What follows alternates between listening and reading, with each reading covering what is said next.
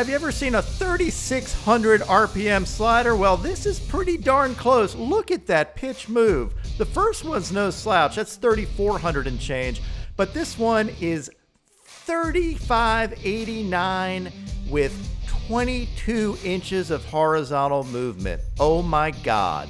That's ridiculous, Kyle Crick.